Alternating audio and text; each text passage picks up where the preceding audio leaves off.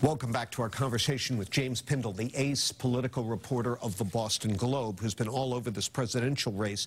So the last poll that I saw of Massachusetts, mm -hmm. with the mass primary coming up on March 3rd, it, it, it's, it's irrelevant because it was way back in October. Right. But nonetheless, it had Elizabeth Warren, the home state senator, over Biden and Sanders, 33, 18, 13. Now, this was before Pete Buttigieg's rise, before Mike Bloomberg's entrance.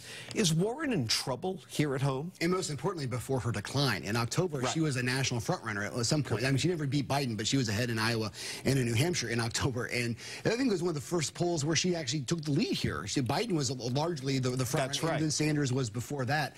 Um, I think the most interesting question about the Massachusetts primary is will Elizabeth Warren be in it? Um, if this is not going well for her campaign, either after Nevada, which is in a few days, uh, next weekend, or if it's uh, if she's heading to South Carolina and this is not happening, is she going to uh, be willing to be put up with embarrassment of losing her home state, and what does that mean?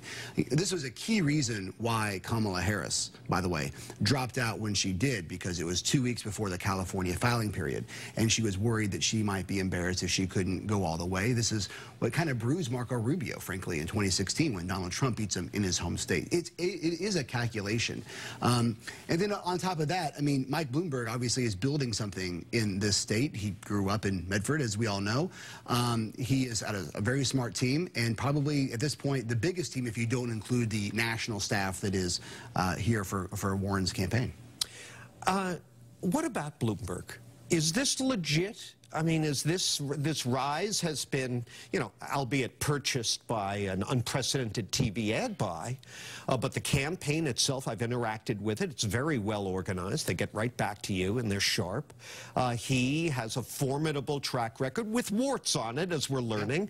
Uh, how far can this go, James? Let's let's talk about this three ways. Okay. One, there's the theory of the case for Mike Bloomberg, why this would work, yeah. and what has to happen with the field of, of the rest of the Democrats. In theory, it's going going perfectly for him. Bernie Sanders elevated, but only sort of elevated. The moderates can't figure it out. You know, the adult will come in with all the money and he will figure it out. Mm -hmm. That makes sense. The execution on can he build something like that in off the theory? He's doing it. I mean, it is incredible. He has 2,100 staffers now in 30 states. Um, he already hired, he's hiring general election staffers. He just announced what he's doing in New Hampshire the day after the New Hampshire primary for the general election. He's obviously spending all the kinds of money. His name recognition is going up. He's gaining even support among African Americans, up to 22% in national polls. Then there's the third part. We have theory, the execution, and then when they have the Mike Tyson rule, right? The Mike Tyson rule is that everyone has a plan until they get punched in the face. Mm -hmm. And I'm not exactly sure what's going to happen when he actually has to engage with others. And we may see that for the first time next week in, in the debate. He technically it may, I don't know when we air this in terms of the polling, he may or may not qualify. We expect him to qualify for this debate. Well, then there's another one almost immediately following That's that exactly he almost right. certainly will qualify for. Do you really think he's going to be a shrinking violet on the debate stage? Well, he has been untested on the debate stage. He hasn't really done this before.